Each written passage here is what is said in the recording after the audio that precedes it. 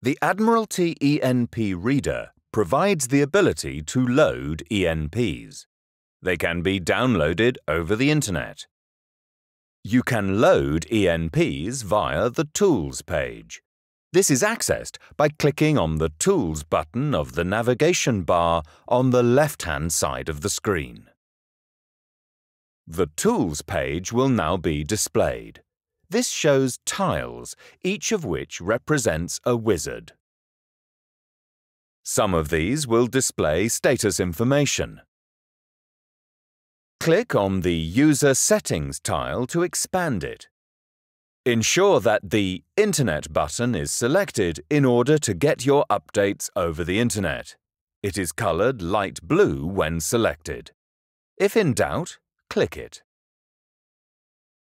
Click on the Get ENPs tile and it will expand to display the Get ENPs wizard. Then, click on the Next button. The Select ENPs wizard page is displayed. The ENPs which you have permits for will be available to update. ENPs are selected or deselected by clicking on the tile. By default, those that you already have permits for and the ENP is not already loaded are pre-selected. When you have selected the ENPs which you wish to update, click the Next button. The Download from the Internet wizard page is now displayed.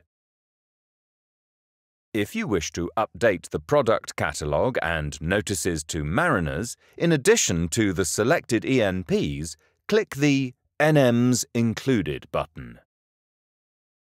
To start the update process, click the Get ENPs button. A warning message informing you a large download is to occur will be displayed. Click OK to proceed.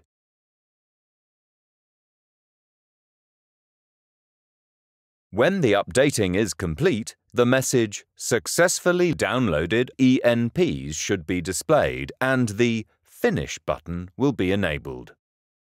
Click the Finish button to close the wizard and return to the Bookshelf page.